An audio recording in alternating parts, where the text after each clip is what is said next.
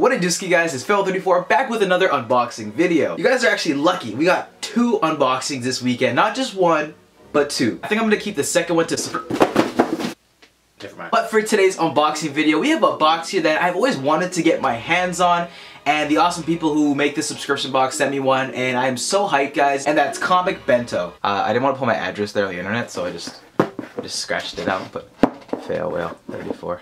Essentially, Comic Bento is like any other subscription box, but the catch is, instead of giving you things like Funkos or t-shirts, and we know how much I love those, you actually only get comics.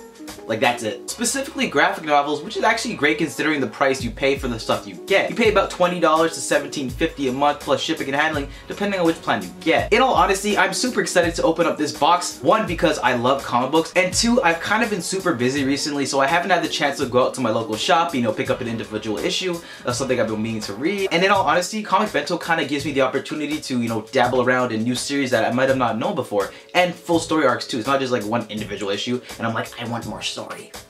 And I think you get like five graphic novels, which is at least worth 50 bucks in, in, in value, so it's pretty dope. Anyway, let's get started. Almost cut off my ear. All right, and we're opening up the box. We have, I love plastic. Thank you guys. Oh my God. Let's go through them. Ah! All right, and the first thing we have here is, we have Faith, a Valiant comic.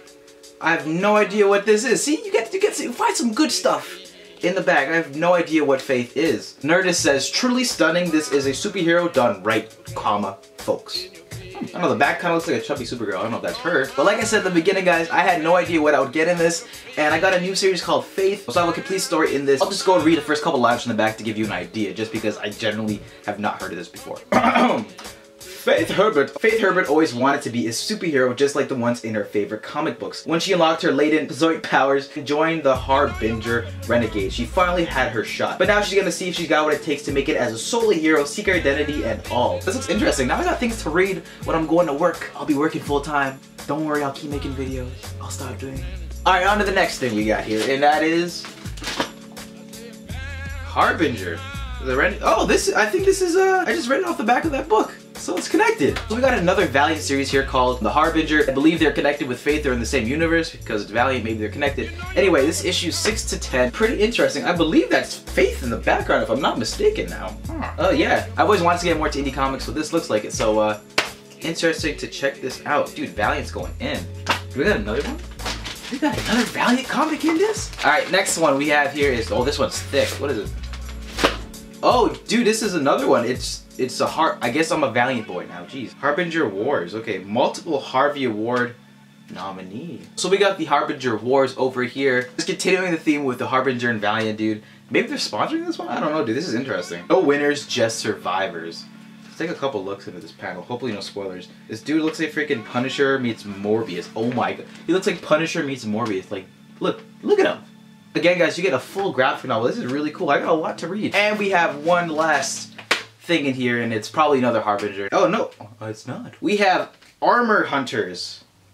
I really need to get more into like indie comics or Valiant comics, gosh. So this is issues one to four. I'm gonna go read the back of this really quickly too. The greatest hunt ball, they really get you with these like big bolded one-liners to get you into whatever you're about to read. When Aric and Dacia returned to Earth with the stolen XO Manowar armor of an alien race, he thought he finally found a weapon to guard the Peace Kingdom and struggle so long to secure. But now, a relentless and surgical strike team from the farthest reaches of the galaxy, sworn to exterminate the armor and all like it, have found their final target. The armor hunters are coming, they will hunt, they will trap, they will kill, and they will rid the universe of the XO Manowar armor's incalculable destructive power, even if it means taking the entire Earth with it.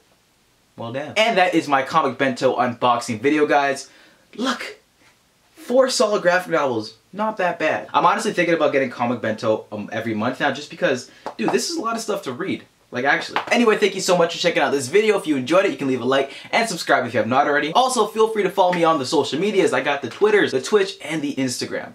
If you're thinking about possibly picking up one of these cool comic bento boxes, in the description down below I have a link. You can click it and go and buy one for yourself. I believe next month's theme is like robots or something. Anyway guys, thank you so much for checking out this video. I'll see you next time. Peace. Too many comics!